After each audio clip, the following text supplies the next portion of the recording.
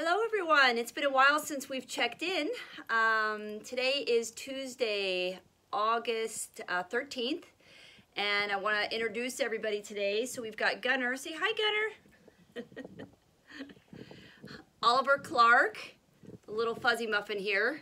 We've got Cy in the back, Cy the sloth, and I still never have uh, named the uh, white tiger in its little cup. It's been a while since we've checked in. Um, honestly, probably this time it's been so long is, yes, I have been busy living, but I also have been struggling with, um, I don't really want to call it a setback.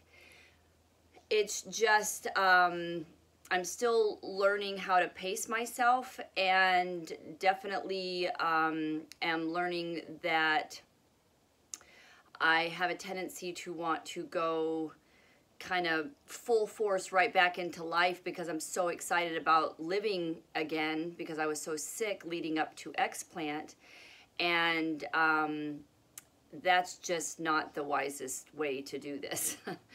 so I'm uh, about five months post explant surgery and I definitely am noticing that um, symptoms are disappearing all the time. Everything is, is improving. My health overall is improving um, drastically.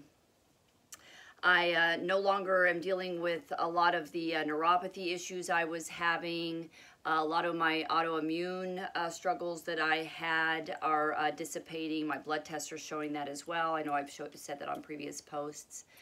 Um, my sleeping is getting better all the time.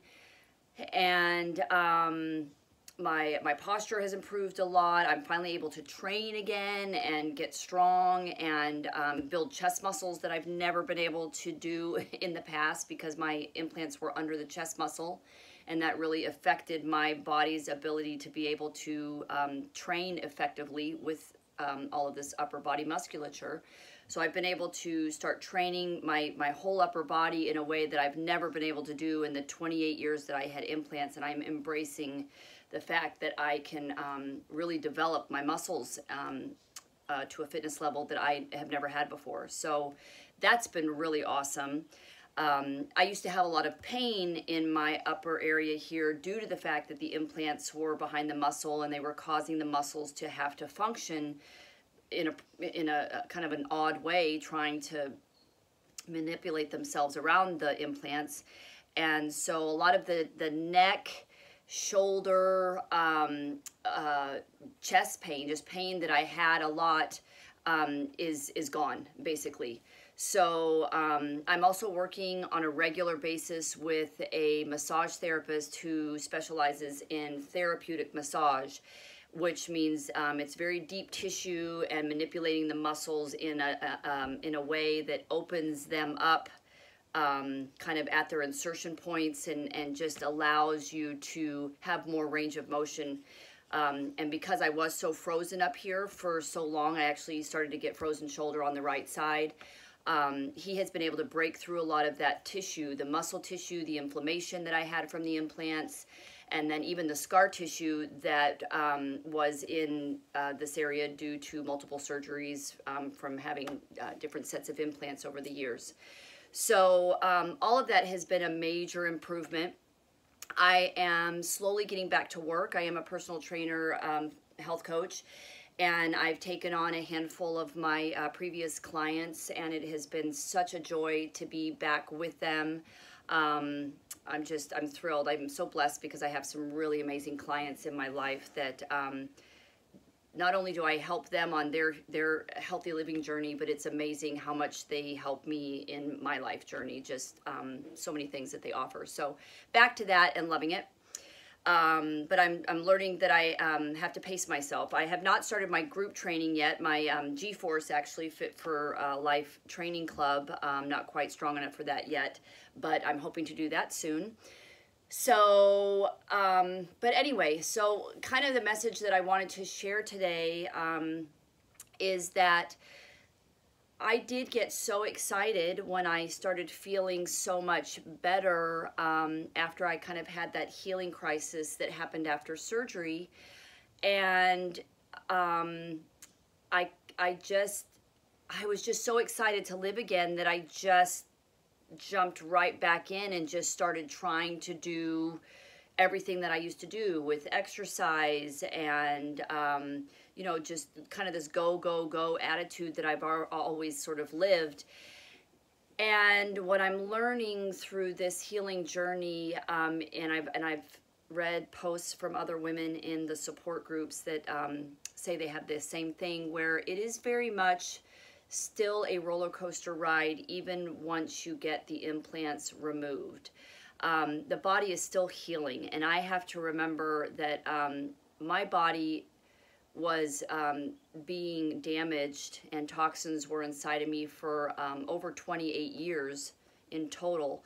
So um, my body can't just snap out of that you know by getting them out. Like it's not going to be that quick. And i it, for me it was just i was feeling so good and oh my god i'm so happy that i feel better that i just thought that i could just jump right back in. And i'm learning that that's not the case that there are going to be still some lows in this that my body is still healing i am still um, really trying to come to terms with the fact that i just need to live a different lifestyle overall it's just going to benefit me in in all kinds of ways kind of separate from explant um, but just learning to be more balanced and not just go, go, go until I crash and burn and, and all that. To just, um, instead of being so up, down, up, down with my energy levels, to just try and stay more steady.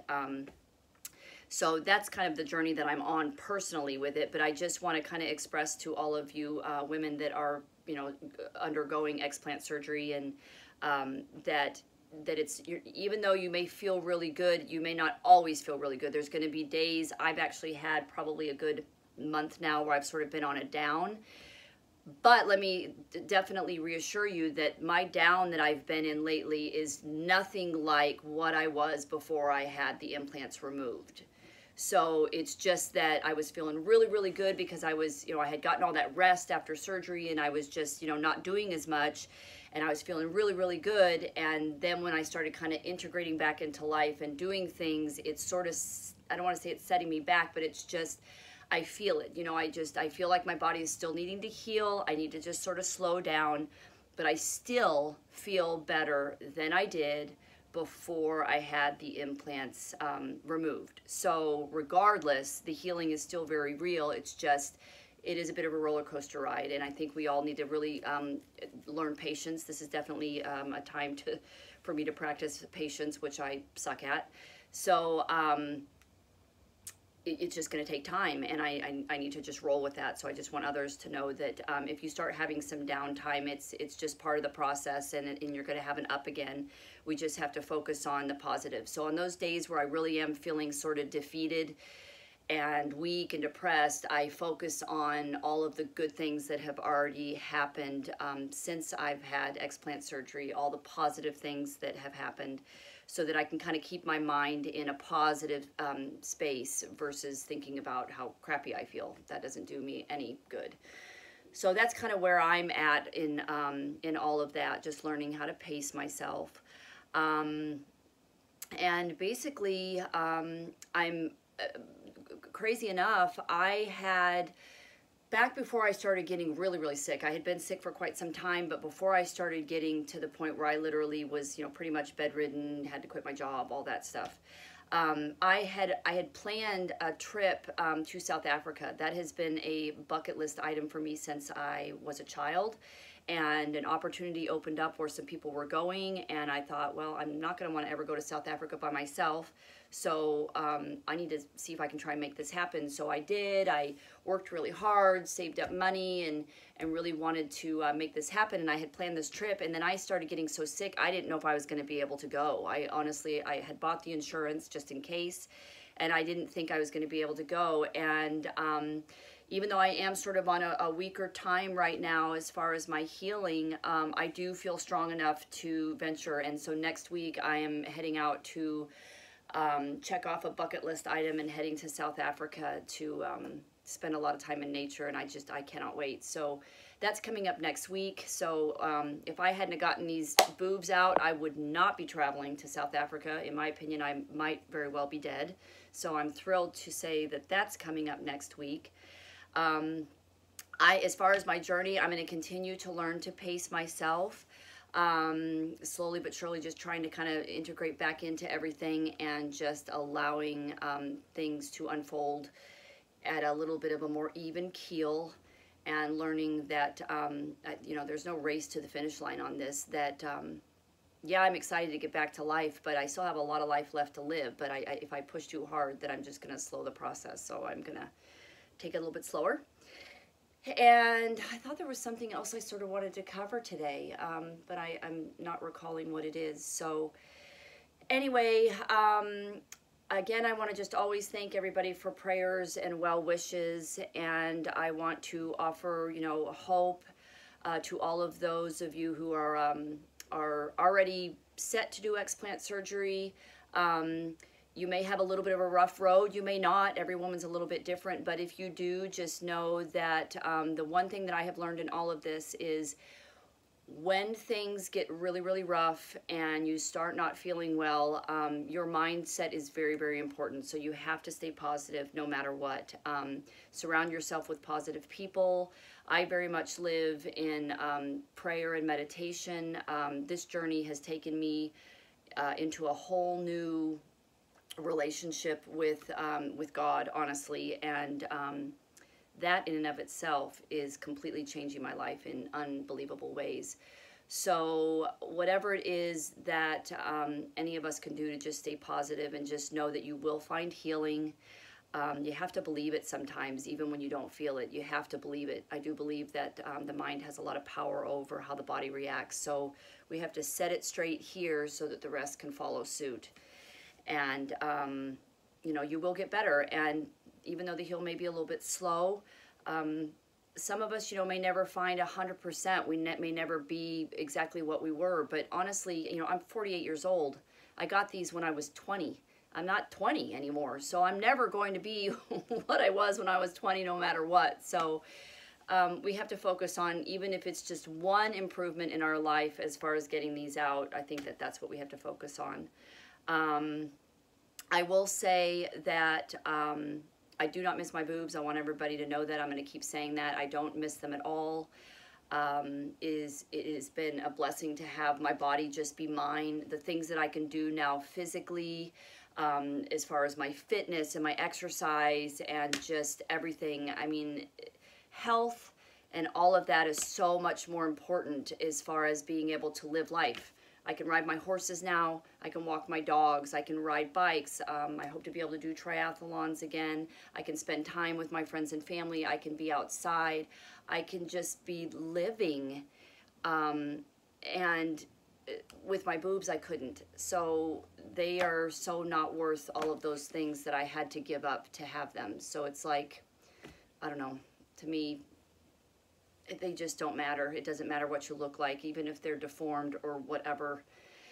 It just doesn't matter in the whole scheme of things because they are they don't affect your life.